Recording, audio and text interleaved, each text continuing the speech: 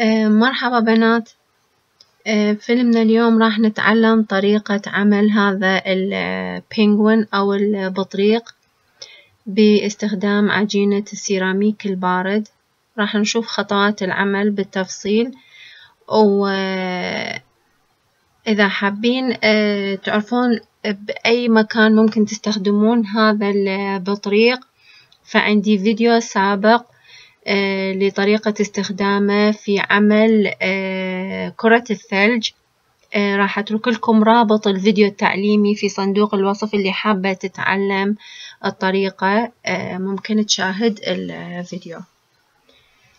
فكل اللي راح نحتاجه عجينة السيراميك باللون الأسود والأبيض والأحمر والقليل من اللون الأصفر. فهسه خلينا نبدي الخطوات.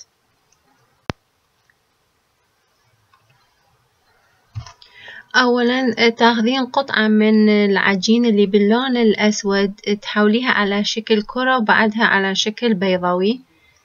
هذا يكون الجسم. وبالنسبة للرأس مجرد تعملين كرة باللون الأسود مناسبة لحجم الجسم. راح أستخدم هذا اللون الأبيض أضعه على الجسم بهذا الشكل.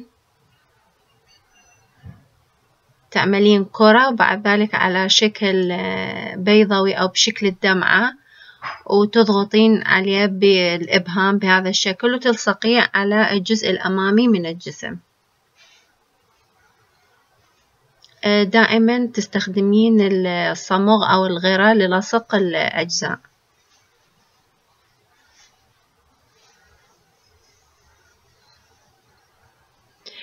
بالنسبة لي دائما أستخدم آه، عيدان تنظيف الأسنان أضعها في مكان الرقبة آه، لتثبيت الرأس. هذا ينطي ساند للرأس بعد اللصق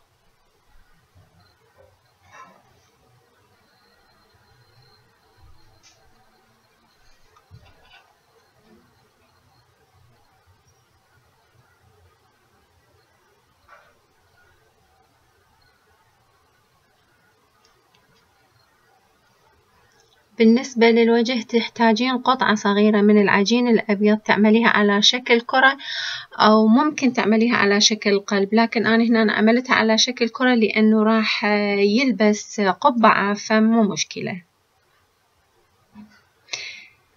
بالنسبة للعيون أنا راح أستخدم آه هذا النوع من الخرز اللي يسمى بالنمنم يعني ما أرسم العيون.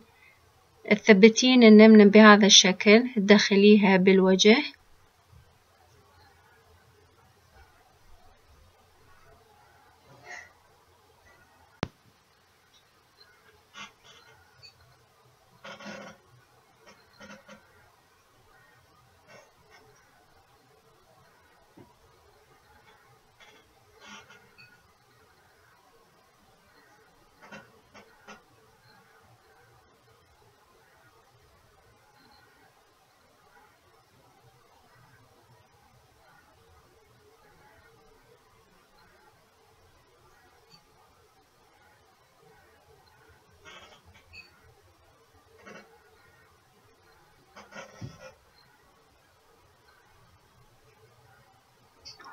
بالنسبة للقبعة تحتاجين آه، قليل من العجين اللي باللون الأحمر. تعمليه بهذا الشكل. تحاولين تقيسيه آه، يكون الحجم مناسب للرأس.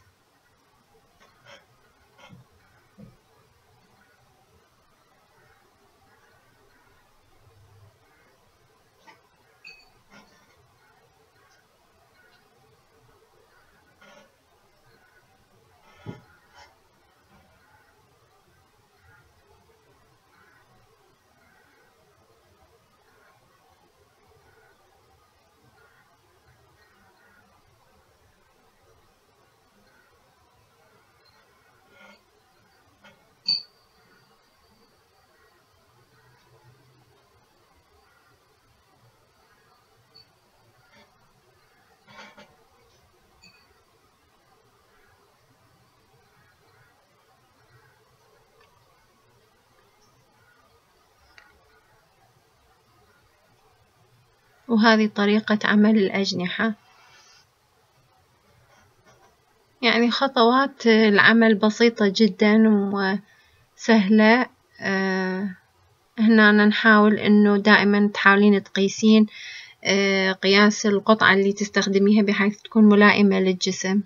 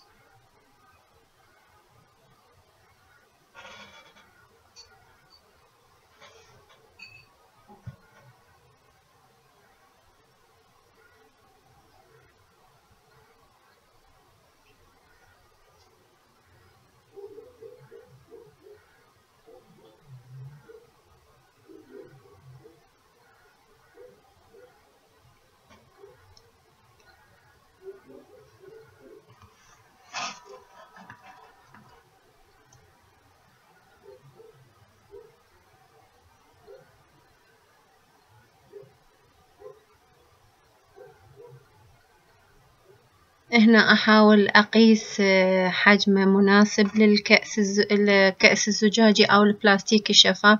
لأن مثل ما ذكرت إنه راح أستخدم هذا البنغوين وأعمل من عنده كرة الثلج اللي حابة تتعلم الطريقة. ممكن نشاهد الفيديو الخاص بها. فهذا هو الشكل النهائي للبطريق. الباقي نتركه إلى أن يجف وبعد ذلك ممكن تغطيه بطبقة من الوارنيش آه، ممكن تستخدميه كميدالية أو ممكن تستخدميه بالطريقة اللي أنا استخدمتها لعمل كرة الثلج. فإن شاء الله يكون هذا الفيديو نال إعجابكم ولا تنسون الضغط على زر الإعجاب والاشتراك بالقناة لمشاهدة القادم من الأفلام التعليمية. وشكرا